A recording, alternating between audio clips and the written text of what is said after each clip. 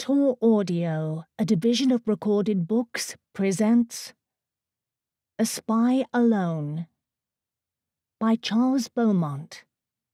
Narrated by David Thorpe. Prologue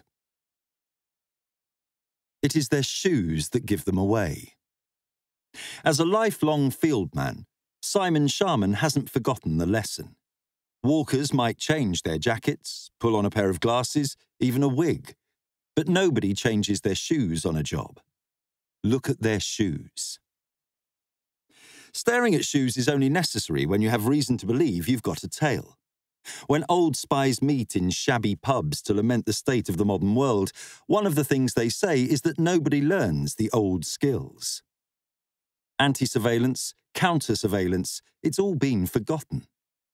These days, it's all done by tracking your phone, those little beacons we all carry with us, shining out to any of the world's intelligence agencies.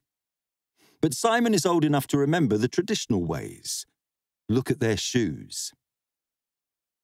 Earlier that day, Simon had deliberately left his phone on a train at Reading, switched on and broadcasting a false trail as it headed into the West Country. He had crossed the platform onto an Oxford train. On reaching that city's famously underwhelming station, he climbed onto a bus that crossed the city. At the Cowley Road, he got out and started looking at shoes. Simon spots Reg first, possibly on the bus, but definitely later on the pavement. Give them a name.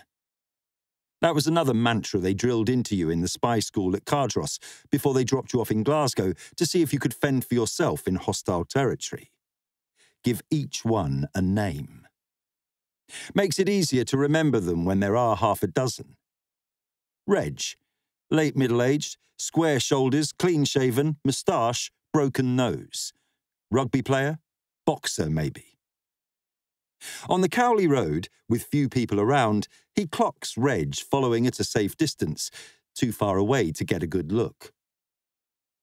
Simon dives into a newsagent, forcing Reg to come closer if he is to continue to appear to be acting naturally, the obsessive priority of surveillance operatives everywhere.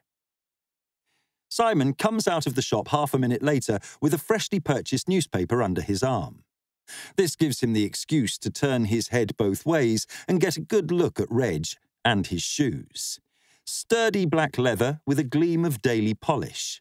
Reg is ex military makes him a likely surveillant.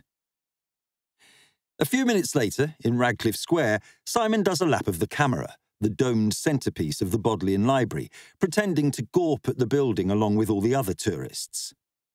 Like a dog on a long lead, Reg follows at a distance, but Simon keeps losing him among the crowds of tourists waving their selfie sticks. Another Cardross lesson. The transition from busy areas to quiet is where you force your surveillant to show their face. Simon turned into New College Lane, under the Bridge of Sighs, past the cut through to the turf along the backside of All Souls. After the crowds of Radcliffe Square, it is quiet again. Reg is with him all the way, now obvious without the crowds to hide in. One swallow does not a summer make, and nor does one walker make a proper surveillance job. I've got Reg, thinks Simon, but Reg can still be some old fart strolling through Oxford. There has to be a team, and I need to find the box. Get to the high. Crossing a nice wide road gives an excuse to look right round, gawp at Reg, studiously ignoring me. Head back up towards Carfax. Find the box. The grizzled instructors at Cardross all had decades in Northern Ireland behind them, and the thousand yard Special Forces stare that goes with it. The box, gentlemen. There were several women on each training course, but the trainers invariably said gentlemen. Once you've found your first walker, gentlemen, find the team. They will have you in a box.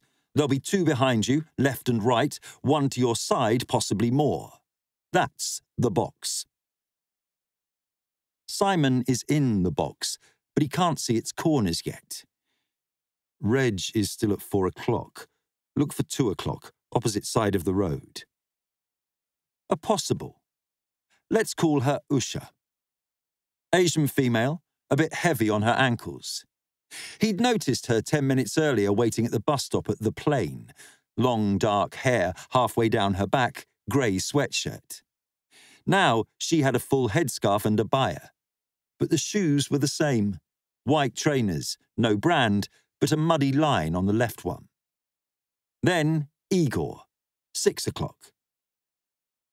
Simon goes into Shepherd and Woodward University Outfitters, feigning an interest in college scarves in order to get a look back through the display windows and eyes on Igor, sauntering past the old bank hotel. Slavic cheekbones, burly arms, big curly black hair, and a creased black leather jacket. Earlier in the day, with a shiny bald pate and denims, Igor had been in a queue for coffee at Reading Station. Converse high tops, navy blue, both times. Surprisingly new, therefore memorable. There are probably more. A big job like this wouldn't be left to just three or four. Probably a few cars, maybe a drone. But once you have repeat sight on more than one follower, you know there's a team. Simon decides Igor is the one least likely to know his way round Oxford. So it is about timing. He leaves Shepherd and Woodward the proud owner of a Christchurch scarf, ensuring that Igor is his closest walker.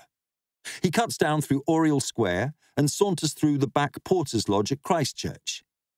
He doesn't slow his pace, just gives a familiar nod to the porter, who grins back from under his bowler. Simon walks on purposefully towards Canterbury Quad, the pale stone buildings yellow in the feeble spring sun. Look like you know what you're doing. They told you in Cardross, and nobody will ask if you do. If the box had been the other way round, Reg would have been the one facing the Christchurch porter. Reg, ex-forces, talking to one of his own. Like almost all college porters, this one had a previous life as a redcap and in Thames Valley Police. Reg could have communicated that there was something a bit funny going on with Simon. Mind if we take a look? A subtle hint that this is a bit of MI5 business unfolding, and the porter would be ushering Reg in to look at CCTV displays in his little cubbyhole. Instead, it is Igor on the follow, strolling up to the porter. He slows his pace as he tries to figure the deal. What is this place? Museum? Monastery? Private club? Igor's time in Britain has not been long enough for him to learn that, like every Oxford college, Christchurch is all three. Can I help you, sir? The porter's question is accompanied with a straightened back and squared shoulders, the politest form of who the fuck are you? The porter's been doing this job long enough to know the difference between an Oxonian and a tourist, or other dangerous species. Igor is no Oxonian, so he decides to be a tourist. He sees a sign promising a picture gallery and asks to visit. He is steered towards a ticket office in a small wooden booth, stuck in a queue behind an elderly couple from Droitwich fumbling for their pensioners' discount cards. Igor exhales in frustration. He has lost Simon, who is out of sight, striding across Peckwater Quad, a square of handsome stone buildings resembling a terrace of grand houses in Bath. At the third doorway, Simon looks up to make sure he's in the right place. A student has hung a Ukrainian flag from a third floor windowsill. In another time, it could be a signal, but it isn't. Just a kid wanting to show they're on the right side of history. Simon pulls a plastic card out of his wallet, maybe it's a library card, and jiggles it purposefully in the door jamb of the double door. It clicks obligingly and Simon pushes in. The door swings shut behind him. A full minute before Igor, clutching his compulsory tourist brochure, wanders into the quad, his face a combination of anger and panic. As Igor turns back towards the porter's lodge, Reg and Usha are standing on the far side, trying to look purposeful as they stare at their phones. Standing in an airy hallway, Simon glances at a polished wooden board mounted on the wall offering room numbers and the names of their distinguished inhabitants. Room 4. Professor Sarah Duquesne, M.A., D.Phil, F.B.A. Not mentioned on the helpful sign is Duquesne's job as Professor of Contemporary Slavonic Studies at Oxford University. Known only to a very few people and not written down anywhere is Duquesne's other job Chief Russia Strategist for British Intelligence. Simon is in the right place. He is also there at the right time.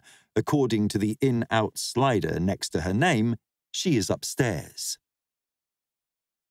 If there hadn't been a well equipped surveillance team just a few metres away, he would probably have hesitated, gathered his thoughts. But there is no time to lose. He bounds up the wide oak staircase to the first floor and knocks on the door.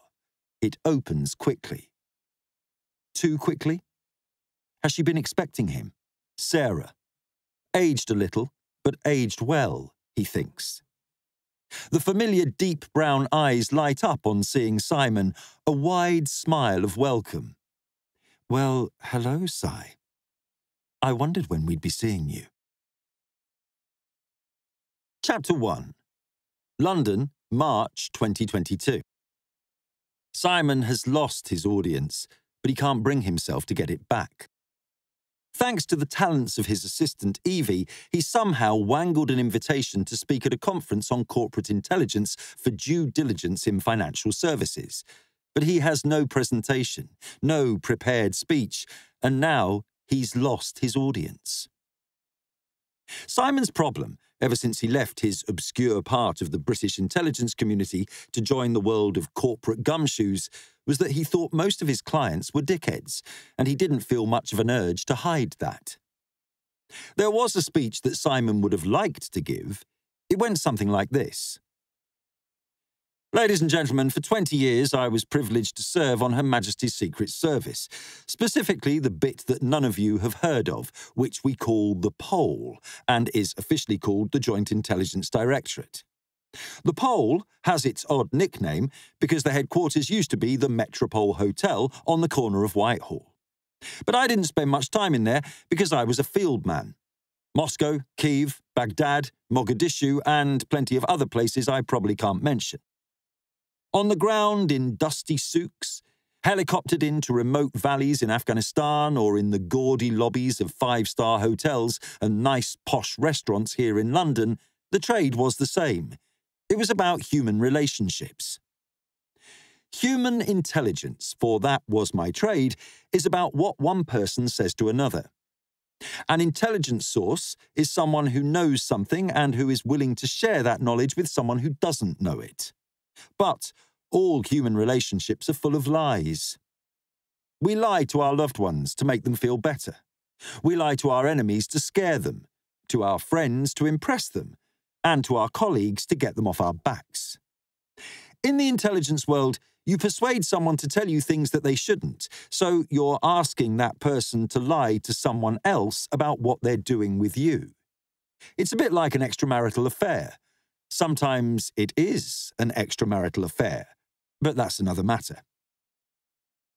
The relationship is built on deception, but the purpose of intelligence is to find facts.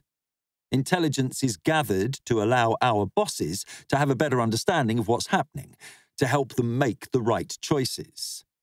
That ambiguity is at the heart of it. It's founded on a tissue of lies and deception, yet we use it to help us make sure of things to increase certainty. At this point, you might reasonably ask what's the point? Why bother if everyone's a liar anyway? Well, sometimes, even when someone is lying to you, they might be telling you something important. That was the speech that Simon would have given had he not been bound by the omerta of his previous government service. Instead, he has found himself talking blandly about the best traditions of public service excellent and very strong networks in key emerging markets, essential at this turbulent time. The audience shift and play on their smartphones, clearly bored and hoping that their complimentary buffet lunch will start soon. Any questions? asks Simon. Normally, the absence of any would be embarrassing, In this case, it is a relief for all concerned as they race for first dibs on the pret a manger sandwiches. A young man is lingering, bashfully approaching the stage where Simon is making a point of staring at his phone to avoid having to talk to anyone. Mr. Sharman? Hmm. Simon can't quite bring himself to talk to him. Thank you. Such a fascinating talk.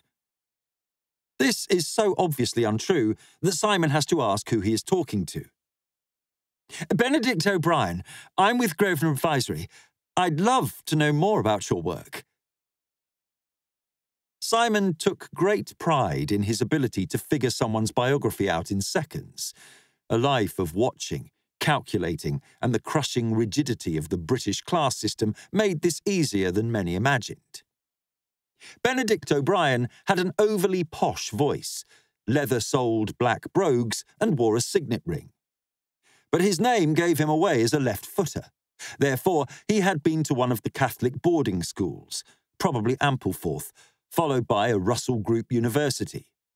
These days, it seemed to be Exeter and Bristol that were taking the nice chaps from the private schools. Father had been in the city, probably in the army before that. Irish Guards or Royal Irish? Our Benedict hadn't quite made the cut for a serious city job now that his lot were being replaced by people with maths doctorates and an ability to write algorithms. This was why he was working for one of those bullshit oligarch concierge services that called itself advisory to make them all feel better about being Oleg's bitch. Simon climbs down from the stage and shakes hands. Firm grip. Definitely a military family. As I said, Grosvenor Advisory. We're a corporate advisory boutique with It's OK, Benedict. I know Grosvenor.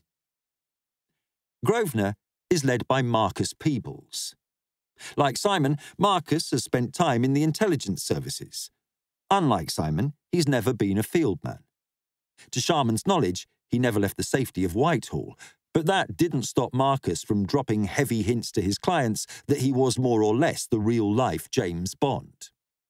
Also, unlike Simon, Marcus was charming, funny, tall, and very successful his client base stretching from major banks to the London based oligarchs.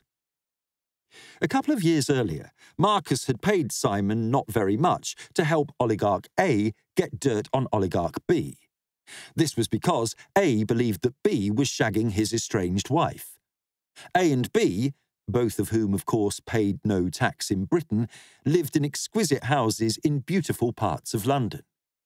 Their children attended elite public schools, their wives enjoyed the diverse restaurant scene for their lunches. Their fear of assassination and robbery was minimised by the largely uncorrupted Metropolitan Police keeping the streets safe for them. And, most important, Britain's finest lawyers, accountants, and former spooks were on call to structure their investments, launder their money, harass the pesky journalists that snooped on their dodgy deals, and ensure that all of this took place under the aegis of Britain's unimpeachable legal system. How can we help Grosvenor Advisory? asked Simon wearily, wondering why Marcus hadn't rung him directly. Well, you know the sorts of things we do, says Benedict, unnecessarily, fiddling with his floppy hair. Simon finds himself wondering bitterly whether Marcus now regards him as a bit of a loser, preferring to palm him off on this junior chinless wonder. As you might imagine, after the Ukraine thing, there's been a few clients wanting to take some back bearings. Simon sighs. The endless euphemisms are so tiring. What O'Brien was avoiding saying was, For years, we have been helping the Russians launder their dirty billions, and now we're feeling a bit silly about it. So you have to help us clear up the mess. It's a deep dive on an oligarch, continues Benedict confidently, wanting to review the sanctions risk given recent events. What makes it slightly unusual is the client has the resources to do a really proper job, throw the kitchen sink at it.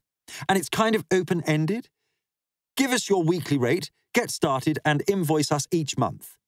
Can I grab a card and email you with some more info? Great. Oh, and Marcus Peebles says hello. O'Brien is in a rush to get on, and Sharman isn't going to stand in the way of what seems like a dream assignment. But later on, his professional paranoia sets in. The way O'Brien had said Marcus Peebles rather than just Marcus.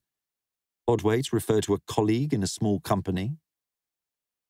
He does a LinkedIn search on O'Brien and is gratified to find that his instincts are still solid.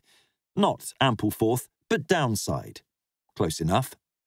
A direct hit on the university. Exeter. A slightly thin profile otherwise. O'Brien didn't have that many connections. Simon can tell from the metadata that the profile has been set up quite recently, but Benedict is fairly young, so this is plausible. Still unsure, Simon calls Marcus, steeling himself for faux bonhomie and ill-concealed condescension. Unusually, Peebles answers on the first ring.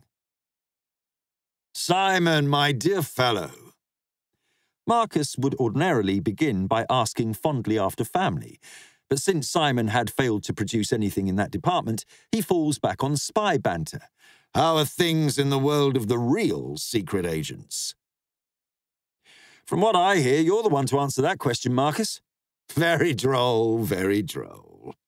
Marcus clearly thinks it isn't. All well, though? Nice and busy? Business flourishing? As you'd expect, Marcus. Things were desperate. Simon had been paying Evie out of his savings. Well, I expect you're too busy for that thing Benedict wants you to do. He did catch you at the session today. So he's for real, thinks Simon, or at least as real as anything else Marcus talks about. I'm sure I can squeeze it in. Just trying to get a feel for it. Seems a bit of an odd one. Well, strictly entre nous, as they say, it is a trifle unusual. Not for banks or the Garks, you see. It's one of the universities. I'm not saying which, but it's your one. Simon's time at Oxford often felt to him like his last real success. You'll get the full pack from Ben, but they want you to look into Sidorov. I'm sure you know him. They agreed to take a huge endowment from him a couple of years ago, hundreds of millions, and now they want to know if they can still get away with having his dosh, what with Ukraine. They're being super cagey, so I don't know much more, but they've made it very clear we leave no stone unturned, whole hog. You know what these universities are like terribly risk averse, but desperate for the money. But we know you have the sources, Si. That's always been your thing. At least Marcus has some regard for Simon's work. Georgy Sidorov is one of those mid-table oligarchs, not the richest in the deck, but definitely a real billionaire. There are two broad categories of Russian oligarch the thick necked gangsters who want gold leaf slapped on everything and serve caviar out of ice buckets, and the smaller group, educated nomenclatura types. These are often former diplomats and intelligence officers. Sidorov had served in the SVR, the Foreign Intelligence Service. Simon remembered the story. A few dons and newspaper columnists had asked whether someone whose money had been made in the wild west of Russia in the 90s was really a suitable donor to Britain's grandest university. But an appointed board of the great and good had decided Sidorov was very suitable, and Oxford had announced it would take the money. He won't admit it to Marcus, but Simon really needs this job. Everything else has dried up. Well, Marcus, obviously this would be a lot of work, and I'm juggling a few projects at the moment. Plenty of other stuff going on, but I think I can squeeze it in. Yes, yes. Marcus clearly knew this was bollocks. Young Ben will send you the stuff, usual drill, NDA and all that. Deal with Ben, if you don't mind. That was odd. Marcus always made sure he handled the important projects directly. Why would he pass up the opportunity to be in touch with the governing body of an Oxford college? Lunch in the senior common room, high table gossip. Marcus? Hmm? The response does not suggest enormous enthusiasm for the continuation of the discussion, but Simon has to get something off his chest. Marcus, we both served in intelligence to defend Britain from external threats. And we both know that this country is awash with dirty Russian money. It's only now he's gone and invaded Ukraine and started killing people that anyone's doing something about it. I mean, why the fuck did anyone take this loot in the first place? Simon really wasn't sure why he had brought this up. There is a pause on the line, and Simon thought he could hear a sigh. Deep down, beneath the bluster and cynicism, did Marcus feel it too? Steady on, old chap.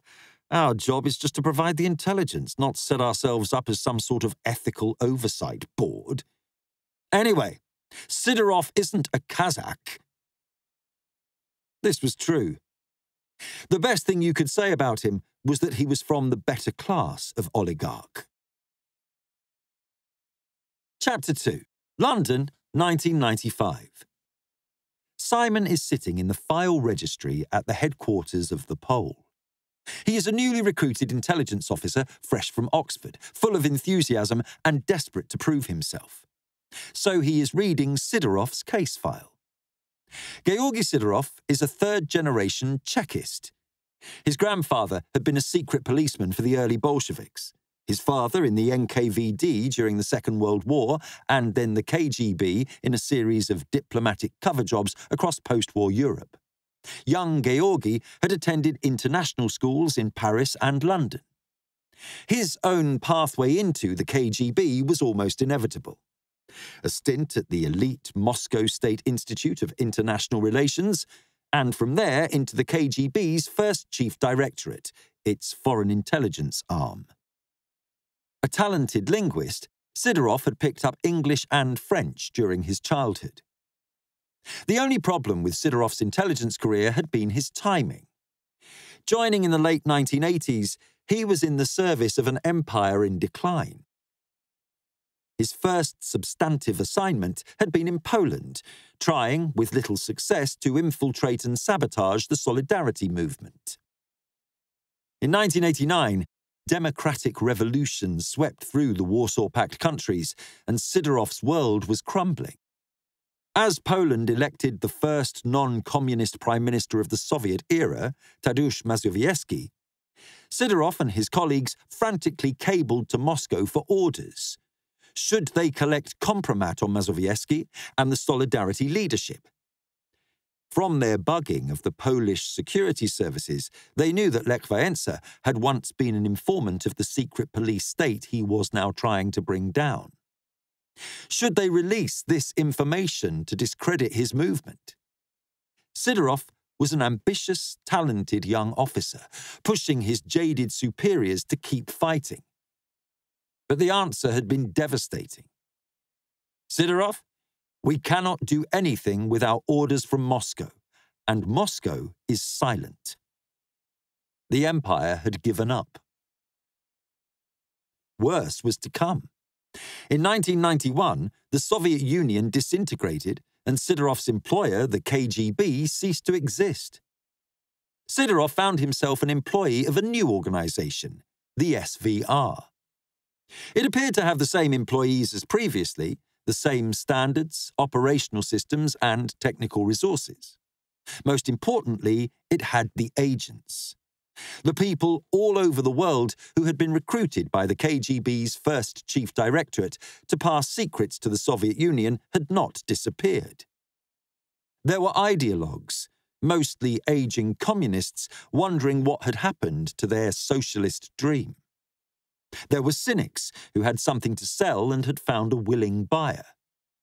There were the blackmail victims, prisoners of their shame. And, the biggest group of all, the pragmatists. People who saw a relationship with the KGB as some kind of reinsurance against the other risks in their lives.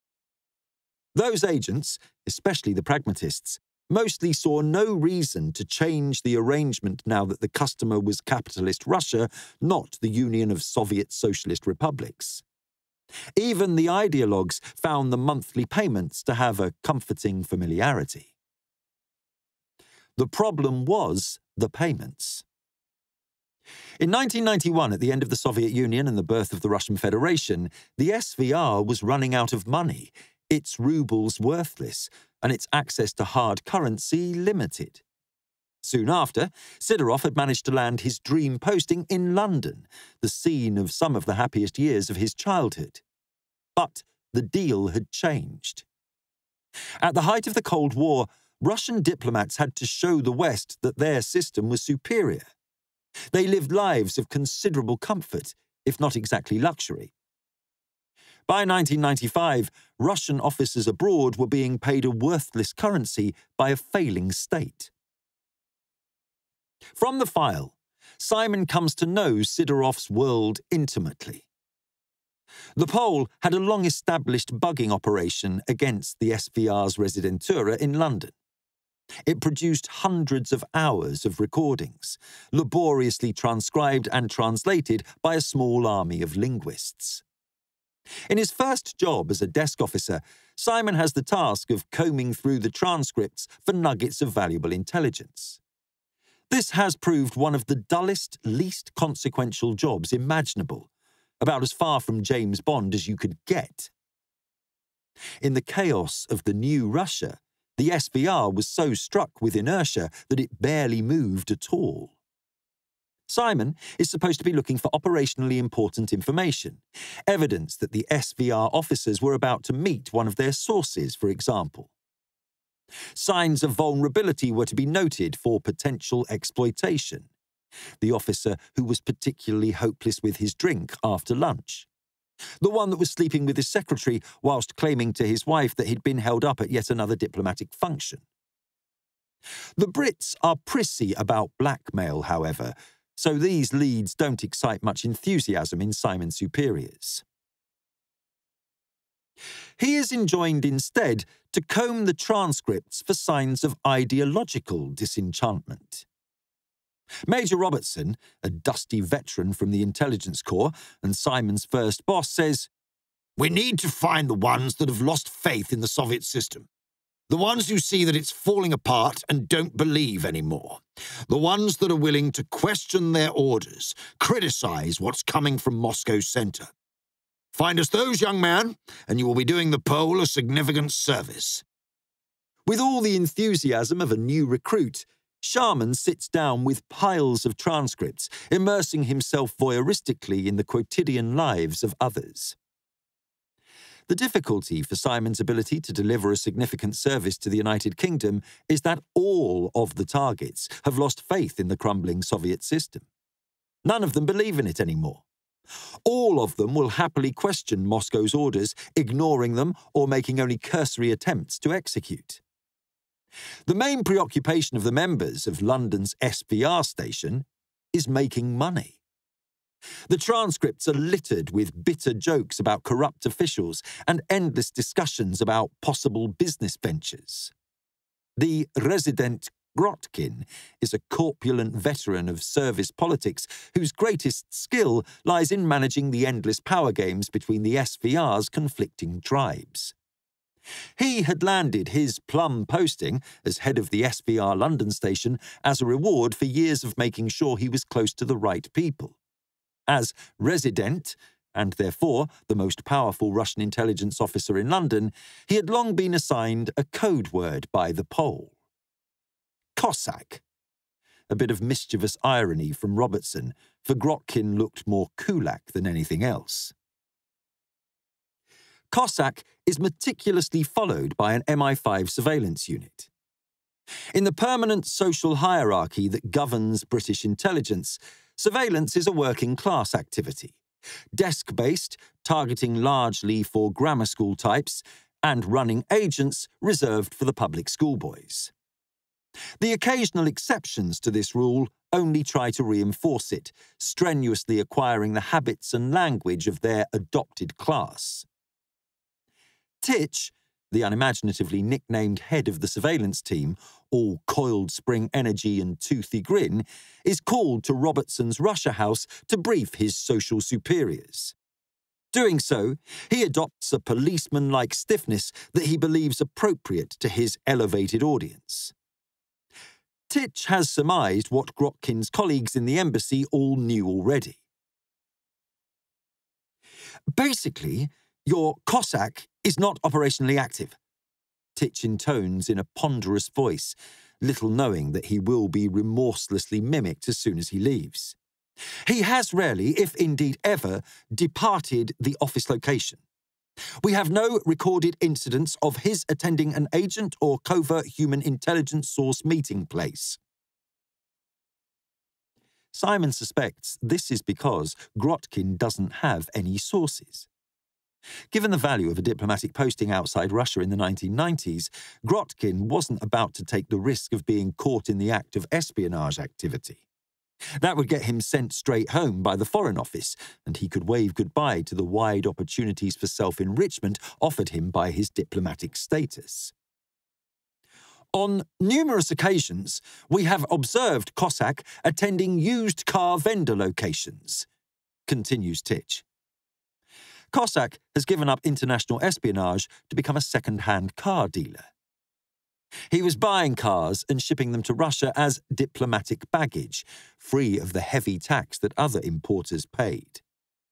Cossack's business is irregular and a little bit illegal, on the Russian side at least. And it is enough to let Robertson think it might be worth trying a pitch. A Russian speaking officer from the Pole contrives a meeting at one of his favoured car dealerships. Cossack is presented with evidence of his trading activity and asked whether he wants this brought to the attention of bosses in Moscow. An alternative, the officer suggests, is to have a chat with the nice people from the Pole. As Simon reads in the after action report, Cossack's response is unexpected. After a brief pause, in which he stared in fury at the Pole officer, he had thrown back his head and released a guttural laugh. You can tell anyone you like in Moscow about this operation. He spluttered. Who do you think brings in the shipments, clears the cars through customs, sells the vehicles? Do you think I can do any of this? In the wash up, Robertson admits that he hadn't considered the possibility that the entire organization was in on the scam. The Cossack operation teaches Simon a crucial lesson. Your targets need to be playing the same game as you are. British intelligence is obsessed with collecting political information that it could put into reports for carefully vetted readers across Whitehall. Once upon a time, the KGB had the same objective, relying on Philby, Blake, and others to feed detailed reports on British politics that were pored over by KGB analysts. By the time the drunkard Boris Yeltsin is in the Kremlin, the priority is business. Every Russian intelligence officer is on the lookout for a trade. The Pole has little to offer in this department. The British government is particularly neuralgic when intelligence operations propose shady business deals, even when the objective is the recruitment of a senior Russian intelligence officer so Cossack and his friends continue their trading largely undisturbed. Cossack probably knows about the bug in his office, saving the really sensitive information for conversations that take place outside in a noisy street or deep in the embassy where it is believed they have a tank, a secure speech room. The transcripts from the bug tend to feature Cossack and his most senior lieutenants chatting about trivia. In a large intelligence station, many of the more junior officers are occasional, strangely intangible figures, rarely admitted to the office of their boss. One of Simon's jobs is to try to match the bit part players in the recordings to real people on the diplomatic list. Rather like the credits of a movie, these minor characters often have no names, just descriptors. Young man 1. Angry older visitor sassy female. One of these is clearly young, studious, and rather serious. Ah, Georgy Ivanovich, what are we reading this week? Cossack would call out in a mocking tone. The reply suggests a young man with a liking for classic English literature, Austen, Dickens, and Trollope. Simon visualizes a skinny undergraduate type, prominent cheekbones and bulging Adam's apple, a tatty penguin classic tucked under his arm. There are four men potentially answering to Georgy Ivanovich on the official list of diplomats at the Russian embassy. Sharman starts out with Bookman and gradually narrows it down to Georgy Ivanovich Sidorov, whose cover job is Third Secretary, Cultural Relations, and who has an active user account at Kensington Central Library, just a few metres from the Russian embassy. Aside from his literary endeavours, neither Simon nor any of his colleagues have any idea what Sidorov is up to. There is no evidence of his participating in the more lurid business schemes preoccupying many of his colleagues the inward shipment of Ukrainian models to supply London's increasingly diverse sex trade was run by the GRU boys. They have excellent connections in Kiev to source the raw materials. There is a rumour doing the rounds on London's diplomatic circuit that the ambassador himself is smuggling premium quality Afghan heroin in through the diplomatic bag. But Sidorov features in none of these. The only regular activity they can pin on Sidorov is three trips up to Oxford in his first year. Simon is excited by this. Perhaps Sidorov is debriefing a high level agent in one of the colleges. He checks the recorded dates against the Oxford University calendar and feels he can predict the pattern. It is always the Tuesday of the second week of the full university term. So he persuades Titch and Co. to accompany Sidorov, now codenamed Flighting, on his next visit. A few weeks later, Simon is excited as Titch begins his debrief on the surveillance run. We picked up target flighting at Paddington Station as per our orders, Titch intones, after an officious throat clearing. He proceeded to board the 1415 Worcester Shrub Hill train, calling at Reading, Didcot Parkway Titch. Robertson interrupts. Not sure we need the list of stations. What did he do when he got to Oxford? Right you are, Major. Flighting, having voyaged alone on the aforementioned train, during which he made no contact with other persons and read his book, The Mystery of Edwin Drood, alighted at Oxford, where he proceeded on foot in an easterly direction towards Carfax. He continued down the High Street, turning left into Turl Street, before making a right turn in Broad Street, thereby proceeding in an easterly direction towards a pause as Titch checks his notes the Wadham College. Wadham. Simon is trying to recall whether there were any notable or politically connected dons at that particular college. Yes, Shah, the Wadham College. Flighting proceeded to enter that location. We did not follow him inside, this being a high threat environment for surveillance operations. By which Titch means that his blokes would stand out like sore thumbs in an Oxford quadrangle. In order to be able to control his likely re-emergence from the aforementioned college, we took up strategic locations outside a nearby hostelry. Simon isn't able to resist a grin at the earnest seriousness with which Titch described his taxpayer-funded boozing session outside the King's Arms.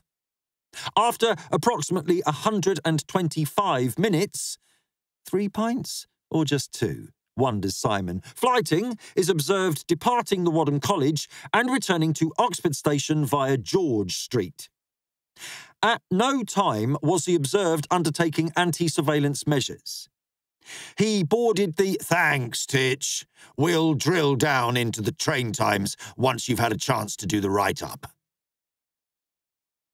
Titch then produces a photograph of the signboard that listed current events taking place at Wadham. Simon eagerly scans it and then feels a wave of disappointment wash over him. Under the Mary Eccles room, there is a listing for the Oxford Diplomatic Forum. This is a talking shop for bearded lefty academics and their female counterparts.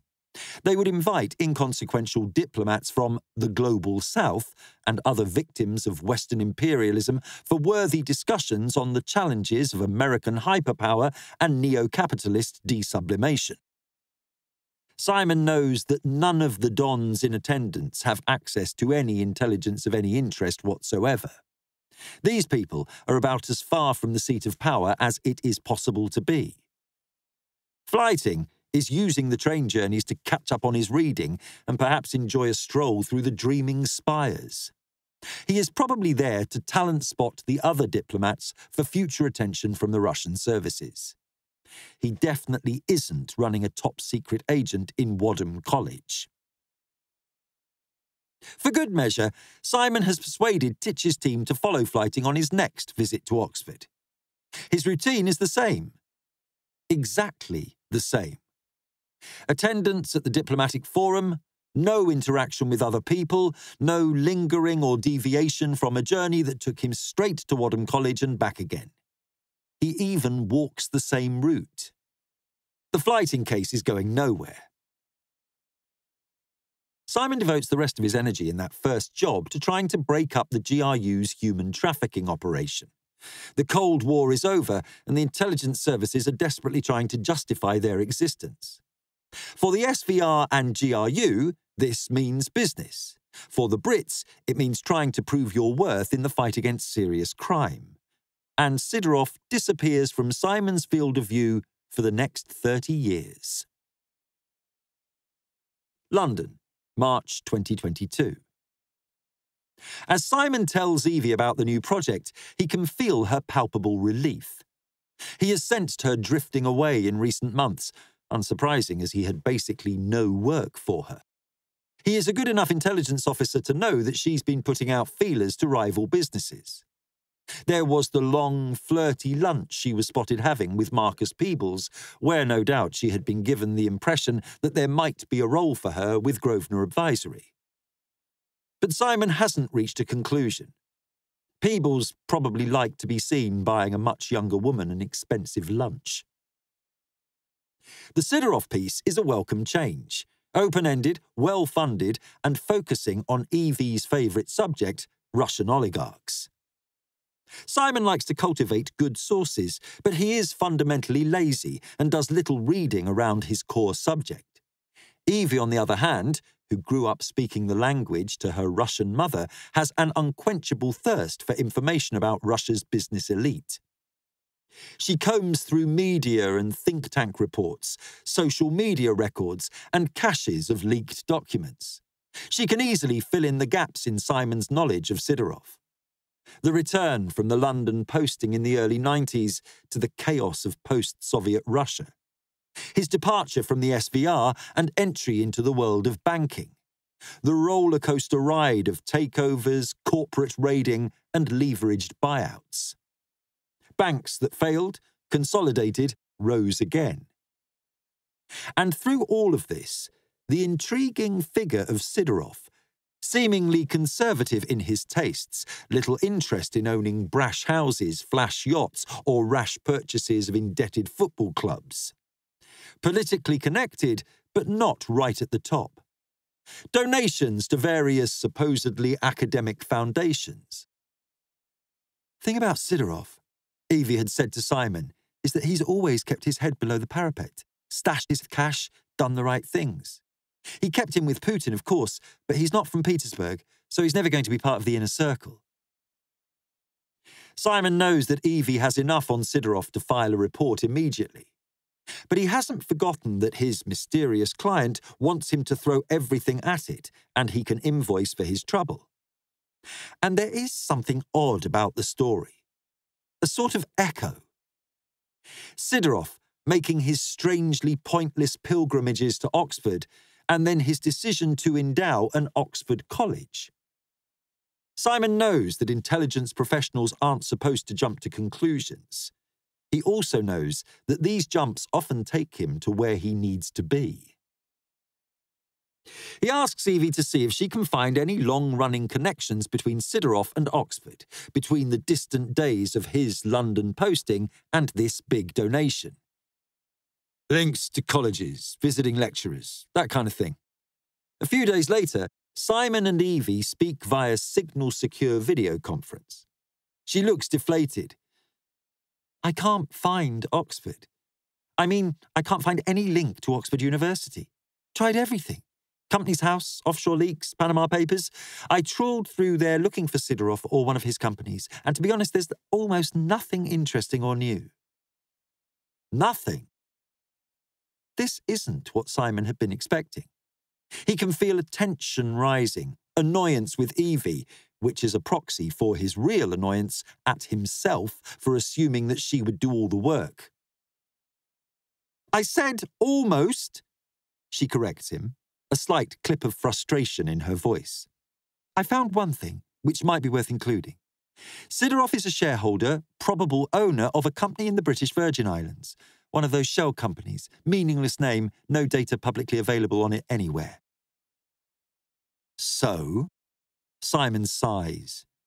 In his world, British Virgin Island companies, BVIs they called them, are dead ends.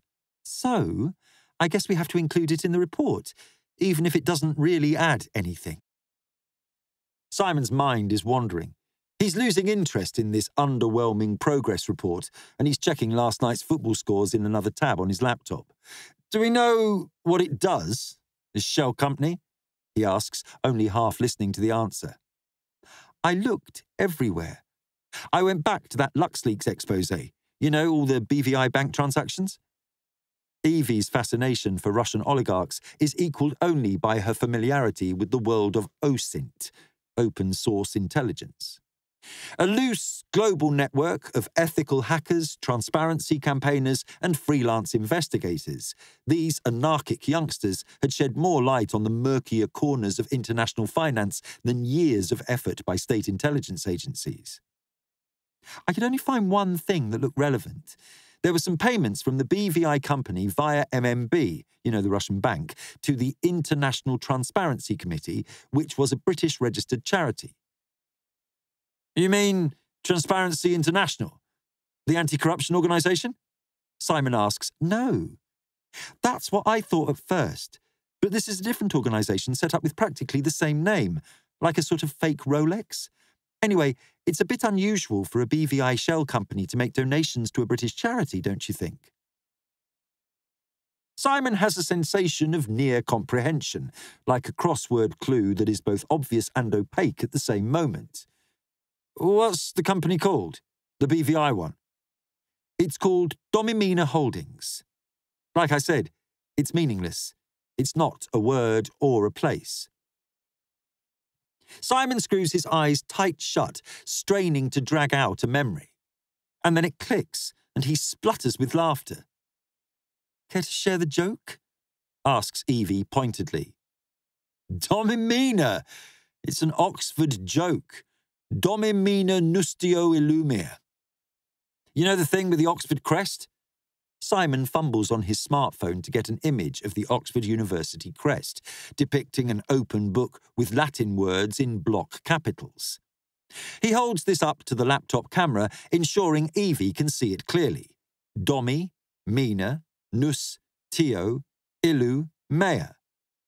On the Oxford crest, you're supposed to read down each side for Dominus Illuminatio Mea, the Lord is my light, university motto.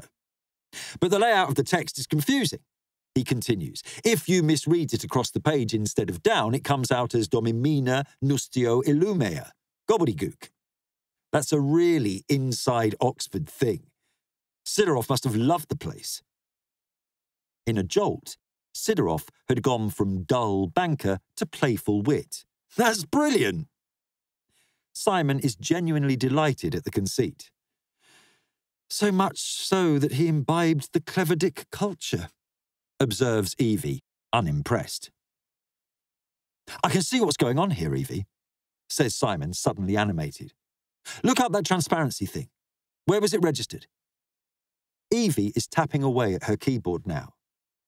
You have Sidorov's Domimina Holdings, continues Simon quicker now. They have an account with the Russian bank MMB, which of course he also owns. It's just been sanctioned, actually, Evie chimes in. Simon ploughs on. And this account made a payment to the International Transparency Committee, a British charity. I'm sure there's something odd about the ITC. Wasn't it closed down by the Charity Commission? On his laptop screen, Simon can see Evie's eyes. They are green, scanning Wikipedia. She is half murmuring as she summarises. It ran for a few years, fairly controversial. Transparency International hated it, like it was a deliberately misleading branding. Took very contrarian positions on things like human rights. Okay, fine, Evie, but anything to do with Oxford. Wait, that's interesting. Evie then stops, tantalising. Come on! Simon is wondering is she playing with him, or does it just feel like that? The International Transparency Committee had its headquarters in Oxford at Jesus College. Its chairman was Professor Peter Mackenzie. Evie is blinking in delight. She smiles, pleased with their progress. Simon should be enjoying this moment of shared endeavour, but he can't see Evie anymore because it feels as if the floor has disappeared and he is free falling into the darkest recesses of his memory. Chapter 3 Oxford, January 1992. Oxford and the freezing fog is hanging in the narrow streets, floating spectrally around the street lamps. Simon Sharman pulls his newly acquired scratchy college scarf tightly around his neck and shivers down Holywell Street. January, the first week of term. Simon is on his way to Jesus College for his first tutorial with Professor Peter Mackenzie, advisor to the Prime Minister, controversial newspaper columnist, scourge of woolly leftist historians, and somehow still with enough time to tutor second year undergraduates. Simon is desperately excited. This was the point of being at Oxford to join with the powerful and the influential, to be an insider, part of the system that runs things. Mackenzie's rooms are in the corner of the front quad, up a freezing cold stone staircase. Simon knocks, responds bravely to a grunt that could have been an invitation to enter or equally to fuck off. Inside, the room is pure telly don fireplace with roaring logs, mantelpiece above groaning with invitation cards, walls of books two deep and reaching high above a wheeled stepladder, ancient dark brown furniture, and Flemish oil paintings. From the college collection. Everyone knows that Mackenzie is poor and angry about that. On side tables, there are three silver framed photographs Mackenzie with Thatcher, Mackenzie with Reagan, Mackenzie with Gorbachev. Papers are piled on any flat surface, including most of the chairs. And there, with his back to him, staring out of a corner window onto the street below, is a large man, his silver hair unkempt and outlined against the pale yellow from a streetlight outside, gleaming into the late afternoon gloom. He turns round and slouches into one of those bottomless armchairs that are the speciality of Oxford dons and which put the knees up around the ears. Which one are you? The R's have a Scots burr, but the rest is deep smoker's gravel. Sharman, sir. Simon hasn't called anyone sir since coming to Oxford, but somehow it seems appropriate. Ach, Sharman. Mackenzie appears to be affecting a Mittel Europa accent. Shalom, shalom. Before Oxford, it had never occurred to Simon Sharman that his name sounded a bit Jewish. Now he was asked about his heritage about once a week. Sometimes it was a pleasant error, like when Hannah Shapiro seemed to be asking him if he wanted to have dinner with her on Friday night, until Sharman realised it was an invitation to the JSOC Shabbat. On other, rarer occasions, it was painful, such as when a dozen sozzled, baying public schoolboys in matching bow ties had hammered on his bedroom door and shouted, Rabbi, pray for us! This would have all come as a surprise to his parents, Anglican Saxons from a small town in Worcestershire. Faced with the awful prospect of having to correct Mackenzie within the first minute of their acquaintance, Simon decided in an instant that, for Mackenzie, scholar of Central Europe and of world wars, he would be Jewish. Not practicing, obviously. His relationship with Mackenzie, three years before Sharman would join the Pole, began with a cover identity. The unfolding complication is cancelled by knocking on the door, loud, confident, insistent even. All right, all right. Come in then. A shambles enters. Tight jeans, baggy jumper under a ghastly shiny baseball jacket, white arms and black torso. There's no evidence he brought anything to write on or even with. A pinched, slightly aggressive face under a shock of fair hair, almost albino white. Sorry I'm late. If I'm late, then I'm sorry. The surprise is the voice. Simon doesn't know much about accents, but this one is northern, not Yorkshire, Liverpool, or Geordie, but one of the other ones. Sharman feels elation. In Oxford's complex hierarchies, he is sure that he is above a shabby northerner in a knockoff baseball jacket. But instead, the newcomer is greeted as an old friend. The late Mr. Gough. Ha ha ha! Dr. Burgess warned me about that. Well, gentlemen, you need places to sit, don't you? Simon tries a corner of a sofa, carefully squeezing between piles of paper. Gough looks at an inviting armchair, lifts up the pile of books on the seat, and drops them to the floor with a thud and a grin. That's the spirit, Gough. Find a perch. Simon is already resentful, and Gough compounds this by leaning across and whispering, Hey, mate, give some paper. Sharman pulls out some pages from his carefully selected notebook. Oi, and a pen. You got one? So, Sharman and Gough. Sounds like a tailor's, don't you think? Sharman and Gough. The Mitteleuropa voice again. Once tailors to the imperial court in Vienna, we are now able to service your needs here in the city of London. Simon didn't know what to do at this point. Gough sniggered, more at than with. Well, until the tailoring takes off, you're here to learn about early 20th century Europe, so we'd better get on with it.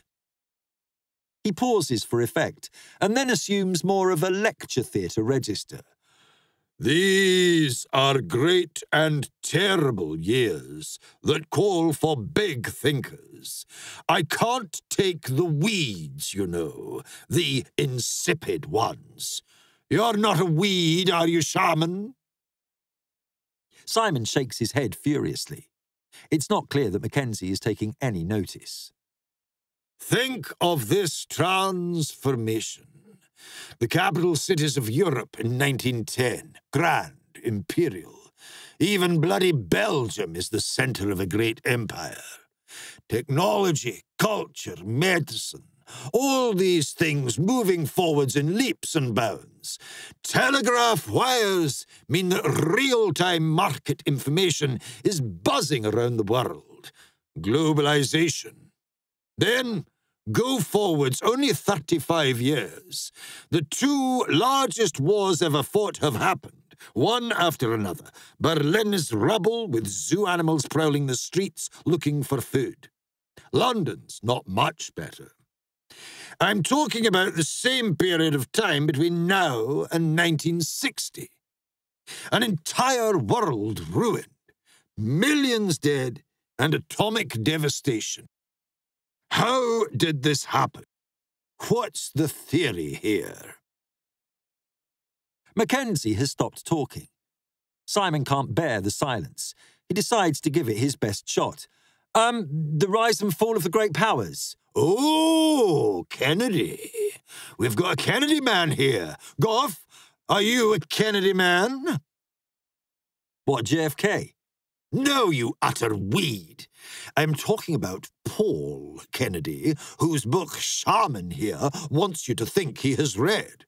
Well, Gough's never heard of it, and frankly, that's just as well because it's utter bollocks. There is no theory. Theories are for the people who don't know the details. History is all events, stories, contingency. The moment you make up a theory, I can tell you where it goes wrong, so don't bother. Save yourself the time. Anyway, I always preferred Nixon. Gough grins at his own joke. Mackenzie throws back his head and barks out a wolfish laugh, which descends into a racking tar phlegm cough. Nixon! Tricky Dicky! The greatest president of the 20th century? Hounded from office for telling complicated lies about a matter of no importance. Brought down by a hostile liberal media that pushed him into paranoia. Half of them couldn't deal with his anti communism. I can see why you preferred him to that invalid priapist JFK, too busy fucking Marilyn Monroe to care about the rest of America. You seem to be a good egg, Gough. With considerable effort, Mackenzie hauls himself out of his armchair and wanders towards a well stocked drinks table. Nixon? That anti-elitist, used to drink Chateau Lafite, but he gave some ghastly table wine to his guests. Now, whatever they might say about me, I won't stoop that low. So, Scotch, Gough, thirsty, a new Sharman, a Scotch on the stettel. Two hours later, Gough and Simon stagger down the steep stairs, clutching the rope banister to steady themselves. Sharman's mind is fizzing elatedly with ideas, stories, pictures. The cynical victor's justice of Treaty of Versailles. The indignity pressed on Princess Schönberg as she tried to travel by train to England under exchange controls. A detour, for Sharman's benefit, on Viennese Jews who had committed suicide the Finns in the Winter War, encircling entire Red Army divisions on their skis, the croaking frogs that masked the advance of the German army over the Aisne. Lenin's train to Russia and minor Austro Hungarian generals who seemed to have stepped straight off the pages of a comic opera. Simon can barely think through the whisky, but he is sure that buried under the sozzling imagery there is a thread, a meaning, the importance of individuals and their decisions, their power to make a difference. As they part company, Simon wants to say something to Gough about how amazing it is that they have just spent two hours getting drunk with one of the world's greatest historians. But Gough barely grunts a farewell before heading towards the high street. Simon realises that he doesn't even know what his first name is, or which college he has come from, the most important definition of Oxonian identity. He is left with a lingering suspicion that Gough takes Mackenzie's attention for granted, not a much desired goal to be fought for.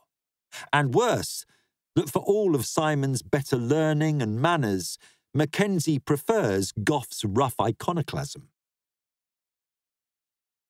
Chapter 4 London, April 2022. Simon Sharman, it's Benedict O'Brien here. How are you getting on with our little project? We were thinking it would be good for you chaps to come and give us an update in person. You know, do a bit of deep dive, so to speak. Every two weeks, Evie had put together a summary of their research on Sidorov, which they sent to Benedict O'Brien via an encrypted Wickr message. For the first two reports, they receive nothing more than a bland acknowledgement from O'Brien. Simon keeps any reference to Mackenzie out of these, partly because he needs to keep this project running for as long as possible. But ever since Evie told him about the payment from Sidorov's shell company to the International Transparency Committee, there has been something about that story that Simon doesn't want to share with O'Brien. As if the research into Sidorov would require him to recover memories he's tried to forget. But now, he is worried that they might run out of things to say, and then he can't keep sending in those invoices. So, for their third report, Evie goes all in explaining the spider's web of offshore jurisdictions, shell companies, and nominee directors that had been dedicated to the simple task of letting Sidorov pay money to a small Oxford based charity. And this seems to do the trick. O'Brien had called within minutes of Simon sending the report, proposing a meeting. Simon had let the lease expire on his tatty upstairs office near the Edgware Road a couple of years previously. He doesn't miss the rent payments, but he does miss the simple camaraderie of seeing his one colleague in person. Indeed, working alone from his one bedroom flat in Kilburn, he rarely sees anyone at all. So it is a welcome contrast to be asked to an actual meeting in an actual office. I'm sure those secure messaging platforms are all very safe, but you keep hearing these horror stories, don't you? Says O'Brien as he ushers them into the ground floor of a soulless townhouse in the heart of Russian oligarch country, Mayfair. When O'Brien had suggested the meeting, Simon thought he would be going to Marcus Peebles' ostentatious suite of offices for Grosvenor Advisory. Those are familiar territory, as Marcus likes to host events for ex spooks, giving him the perfect opportunity to show off to former colleagues whose businesses aren't nearly as successful. But O'Brien has specified a different building altogether, which, he explains to Simon and Evie, is the project office for Sidorov's new foundation. It's tremendously exciting what's being planned, huge ambition. Grosvenor's just hand-holding as it gets off the ground, but we're very excited to be involved. However huge the ambition, the building is obviously empty. Simon notices a pile of junk mail shoved into a bin near the entrance. In the expensively equipped meeting room, the boxes for the newly assembled video conference equipment have been stuffed into a storage cupboard. Either the project office has been opened within the past week, or this is a hastily assembled cover story. O'Brien has a colleague, a sharp young black woman called Kemi, who doesn't offer a surname, but then nobody offers a surname these days. When Simon asks Kemi how long she'd been with Marcus, she seems momentarily confused as if her employer was an unfamiliar entity. Now, says O'Brien, once everyone has generated their personalised coffee from a machine with more processing power than the lunar module. We were rather interested in the reference to the payment to the International Transparency Committee in your last. Domimina Holdings? Bet you got that straight away, eh, Simon? Little Oxford joke for the punters, it seems. From what we see, it could be important to get to the bottom of that.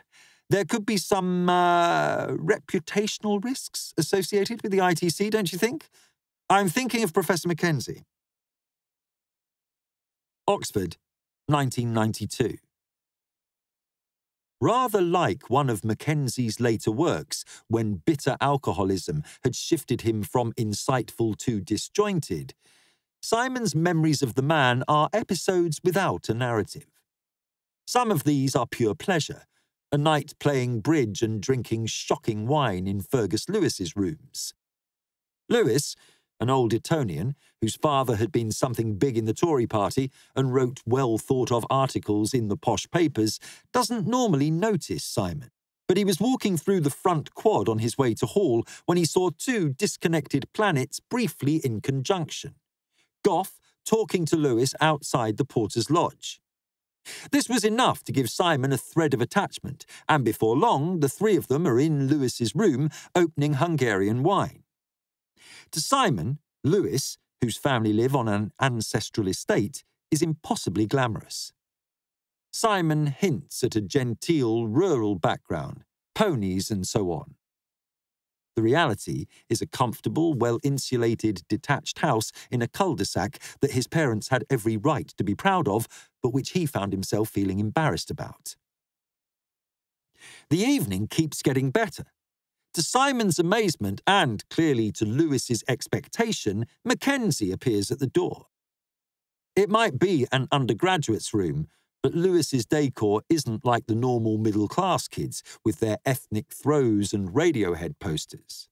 Lewis has proper paintings on the walls, little bits of furniture that must have come from a forgotten wing of the family pile, cut glass wine goblets, even if the contents are still Hungarian crap. And Mackenzie is obviously familiar with the surroundings. He strolls without pausing towards the stereo and puts on a tape of Balkan folk music, to which he sings along. We hope you enjoyed this preview.